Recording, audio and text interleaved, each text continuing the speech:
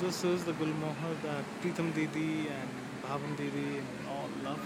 So this is for you guys from the southernmost point of America, which is Key West. Nothing different from the ones that we have in India. They're always beautiful. Okay. Maybe this makes it a little special and maybe I'll keep it.